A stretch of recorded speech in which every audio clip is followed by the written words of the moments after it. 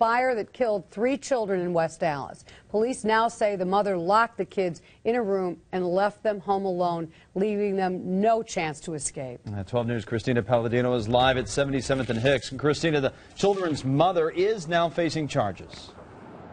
Angelica Belen is now charged with child neglect resulting in death. Police say she was working last Thursday evening when she returned home here to discover her house was destroyed by fire and her children were dead inside. Faulty light is to blame for this deadly fire that started in the kitchen of a West Allis home last Thursday. According to the criminal complaint, when rescuers finally got into the house, they found three children's bodies huddled together. Five-year-old Nayeli and four-year-old twin boys Adrian and Alex, who both had special needs, were underneath a dresser in a bedroom directly above the kitchen.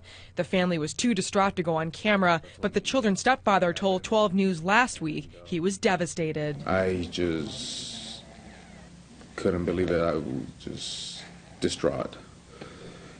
They were my stepkids. I love them.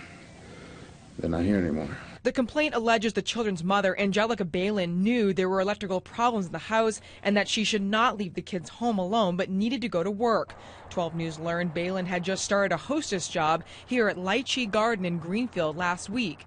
She told police her sister was supposed to be watching the kids, but later admitted to locking the three in the bedroom and putting a deadbolt on the door so they couldn't wreck the house or get outside where neighbors could see they were unattended.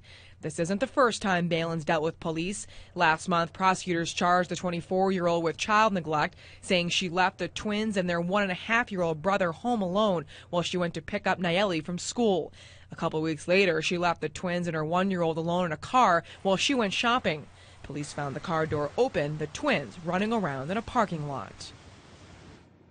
Now, each felony charge carries a 25 year sentence. The family tells me today they are still in the process of planning the funerals for those three little children. We're live in West Allis. Christina Palladino, WISN 12 News.